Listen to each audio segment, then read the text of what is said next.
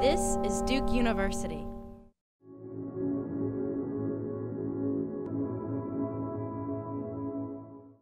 Given the current crisis in American higher education, whatever that means, but everything from the cost of higher ed, the growth of online education, the growth of for-profit education, the increasing debt crisis. I think that this is an opportunity for civic engagement like no other time because what better way to show the value of higher education than to show that we are using our resources to address global problems or as Duke has said, using our knowledge in the service of society.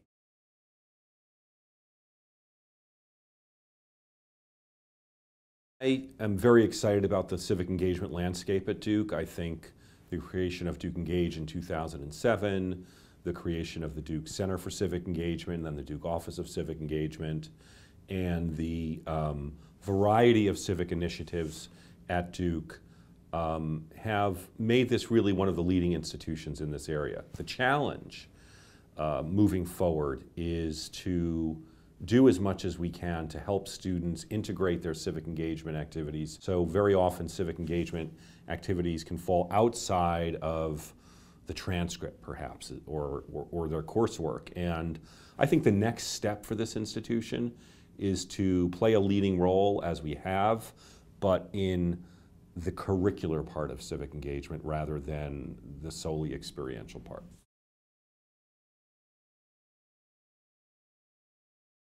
For me, the most valuable thing in thinking about civic engagement is its differentiation from political engagement. And so, though there are dozens, if not hundreds, of definitions of civic engagement, I think that difference between the political and the civic is one that is heuristically really important as we think about what engagement in higher education is going to look like in the next 10 years.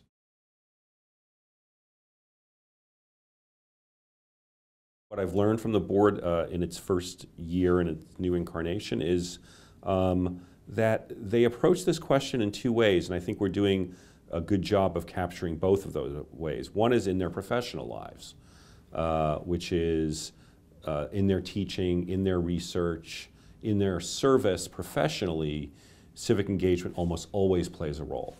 I think we've just begun to unearth and uncover the richness of civic engagement that um, are part, part of so many people's lives at Duke. And so the board is the first in that line, but I think will then be exemplars for others doing this. I hope this new uh, uh, provost and new administration does what I was talking about a few minutes ago, which is to work to embed this further in the curriculum. Uh, and that could look like, a, you know, certificates are just one thing. There's majors, there's minors, there's institutes, there's programs, there's centers, there's, um, there's faculty who do this kind of work. There are really uh, exciting ways for us to further embed this, and I hope that new, um, new partners in Allen Building will be interested in doing that.